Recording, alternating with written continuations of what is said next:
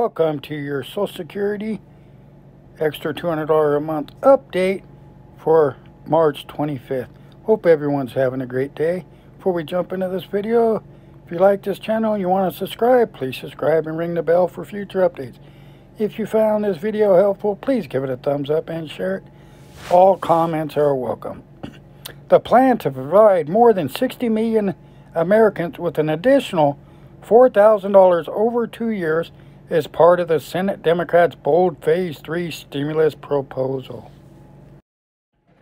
Senate Democrat leader Chuck Schumer, Senator Elizabeth Warren, and Senate Finance Committee ranking member Ron Wyden today unveiled a plan to increase by $200 the monthly benefit for all Social Security, veterans, and supplemental Social Security income SSI beneficiaries through the end of 2021, which would improve the, the lives of millions of Americans and help our economy stabilize and recover from the national emergency caused by the spread of the coronavirus. This plan would give seniors, veterans, and people with disabilities who have earned this benefit by contributing to Social Security with every paycheck an additional $4,000 over the next two years. That's good, folks. A lot of folks probably think $200 a month ain't much. $200 a month can go a long ways. Immediately increasing Social Security benefits would put money in the pockets of seniors, veterans, and people with disabilities during these uncertain times, said Leader Schumer. Senate Democrats are committed to quickly delivering relief to the millions of Americans bearing the weight of this health crisis. Increasing Social Security benefits would give money directly to millions of people quickly. Well, we know how quickly it means with our politician, folks.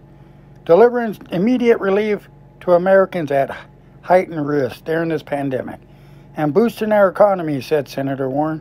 Social Security was created to respond to the Great Depression, and expanding it now will ensure this critical program helps us meet the challenges of the current crisis. Social Security is a lifeline that gives Americans financial security when they need it most, said Senator Wyden. Now is the time to bolster Social Security time tested earned benefits so millions of Americans in need can afford the essentials. Several Democrat senators have teamed up to propose giving Social Security beneficiaries an extra $200 per month in the wake of the coronavirus pandemic and the economic de devastation it is causing. The plan was put forward last week by Senator Elizabeth Warren, Chuck Schumer, and Ron Wyden. That's good news, folks. The extra income would apply to all Social Security veterans and supplementary Social Security income, or SSI beneficiaries. The money would continue through the end of 2021 adding up to an extra $4,000 over the next two years. Doesn't say a time frame when they're going to start doing this exactly, but it's definitely supposed to be this year, folks.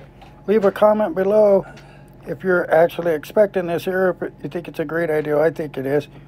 The idea of boosting Social Security benefits by $200 a month was also included in Warren's presidential campaign platform.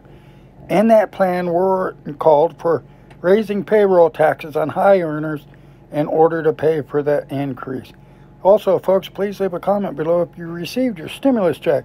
A lot of folks on SSI, SSDI, and veterans, etc., have not received theirs yet. I was just curious up to this date if anybody has received theirs yet. Leave, please leave a comment so other people can read your comment. Again, folks, if you like this video, give it a thumbs up and share it. If you want to subscribe to my channel, please do and ring the bell. I want to thank each and every one of you for stopping by. Take care and be safe.